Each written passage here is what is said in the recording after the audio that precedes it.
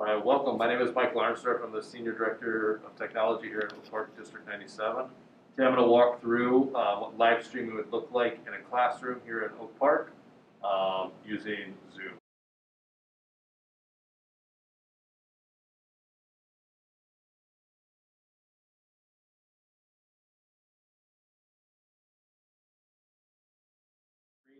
So I've jumped into Zoom. So we use Zoom um, mainly for our students that are remote, but we'll have it projected up to our Apple TV and our projector setup so that all of our students on site can see the kids or whatever content we're displaying to the students at home as well as on site. So I go into Zoom, I have my normal meeting that our teachers would have set up uh, within their class. So I'm going to go ahead and click this.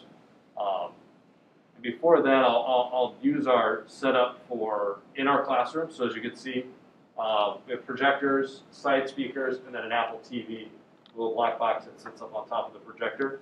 That's what all of our classrooms have um, set up, so our teacher's able to wirelessly connect uh, with their computers. There are also connections that we can wire in if there's any issues or anything along there. So the next piece I'll have, a couple of little things. Obviously, all of our teachers have iPads as well, so they'll be able to use that, and I'll show some of the instructional things that we'll do with the iPads.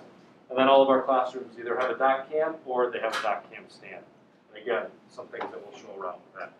The third piece, and this is the only piece that right now we're looking at needing to purchase, is a microphone. So this in-class microphone, uh, it is plug and play. So what we'll do is you'll set it up in the room. It's great that it's a long cable. Go to our staff MacBook. So again, you can see the MacBook, the same MacBook that our teachers have. Plug it into the USB. Hello, everybody. So I'm gonna, for purposes of this, I'm gonna just use this this MacBook and I'm gonna show the classroom, um, so you can kind of see. Then we're gonna go through these next two little quick demos. So you see the mic is plugged in, that just stays there.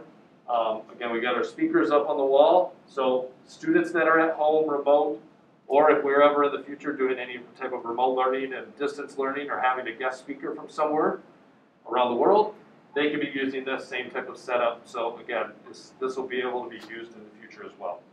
So as I walk around the room, I'm going to be talking, and you'll see Ebony up there. And again, as we think about this in the classroom, the teacher's not going to be able to freely walk around the same way that we did pre-COVID. Uh, but for this example is, so as the students are spaced, socially distanced around the room, she can still hear me if the kids are talking. So if I sit at this student's desk, Ebony, can you hear me? I can hear you. All right. All right, so if I keep moving around, I won't sit down at every seat, but if I keep talking, again, I'm not super loud, but I am using a, voice. You can see I have my mask on. Um, but if I get really quiet, can you hear me now?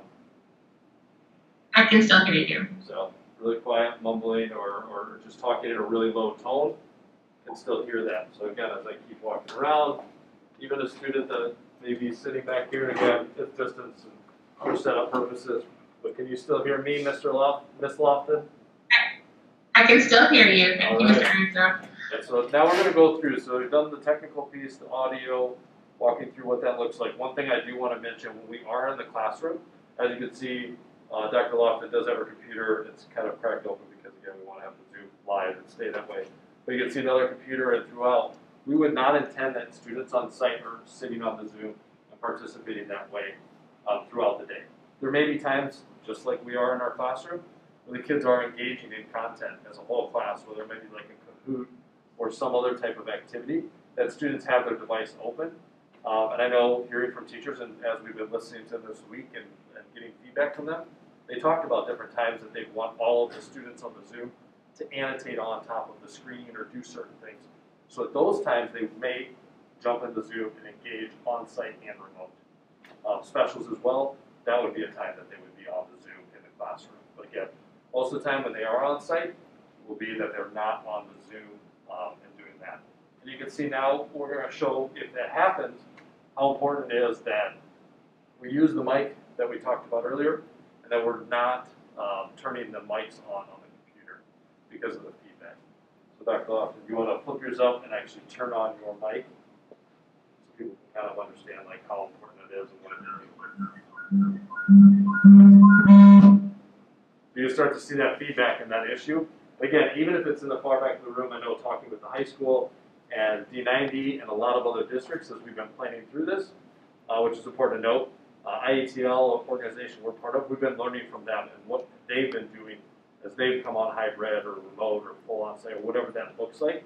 We've been talking to a number of districts, and that's where we got some of these, uh, this microphone and different things and ideas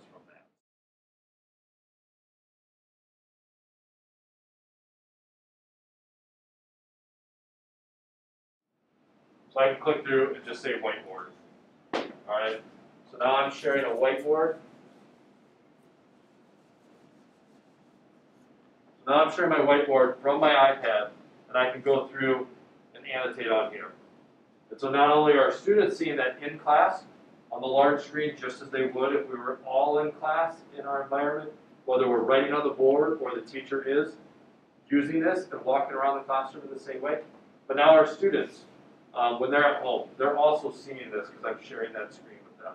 So our kids on site and remote are getting very similar experience, similar content. Obviously, they're not here with us, but they are here with us virtually and continuing to engage. And I know this is the conversation of this is the tough piece. How do I manage the students? I can see them physically. I know that I can experience that. I've done that for years. And how do I then also continue to work with the students at home and engage them? I think that's going to be that deliberate conversation and training and work that have of calling on those students and making sure that they're there and engaging them in that conversation and in that work that we have.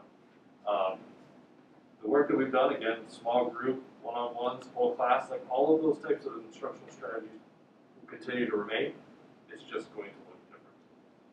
Um, we'll continue to work and learn and hear from our staff and continue to build those best practices um, and work through what that looks like. But again, I see these are two of the best, like two things that we can do.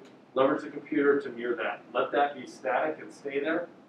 Use the iPad to really engage and annotate and pull up different programs, different things that they're going to do, and share that screen because it allows you to be mobile. I will walk through on the iPad. So I've logged into my iPad through Zoom. Um, so again, teacher would have both of them logged in on their account through Zoom. So what I would do is then go in to uh, share my screen on the iPad, hit screen. I want to broadcast the Zoom. So I'm now going to broadcast that. You'll see how it changes up on the screen. All right. So now I'm sharing my screen. Um, again, anything on your iPad then. So anything our teachers have, again, this is the demo device that's similar to our students, but anything that they may have, that they can go through and show any of those programs or any of those tools that they might have. That's walking through iPad. Um, the one piece that you can also, which is nice, um, when I open up the camera, as we have the doc cam stands in our classrooms, um, be able to go through and show any content. So if there's if there's activities or whatever they might do, um, again, flip that around for the class. Um, I can zoom in, and again, the same thing that is being done in class. Again, this is a practice for our for families and for our staff knows this. This is some similar things that they're doing in their class already. But now I'm just projecting it to my class here, as well as being on the Zoom, so students at home are watching the same thing. And again, I can be calling on them. That's the nice thing of the two devices. So I can use the computer to be seeing what's going on. Kids could be raising their hand in the Zoom room, um, and then I can be calling on them, or I can call on them and ask them to unmute to talk, which again, our speakers would project their voice to the whole classroom. Uh, one piece of talking about how do we manage between the two. Obviously, if kids are in small groups, they can't come together and do that. There may be some collaboration in Google Docs or on some of the different online resources for onsite. But because the kids can be doing that on remote, that might be where they'd also jump into a Zoom and do breakout rooms. So that those students can group together, whether they're on-site or remote, to collaborate and work with one another. Um, and again, that's right through the Zoom, and teachers can facilitate that at that point. Um, and teachers could have that conversation of whatever would be on-site with the kids here, so. So hopefully this gives a good picture of what hybrid learning could look like, may look like here at Oak Park District ninety-seven. Again, done a lot of work with a lot of staff members to hear as we've gotten to this point, um, as well as districts all over the Chicagoland area. So, thank you very much.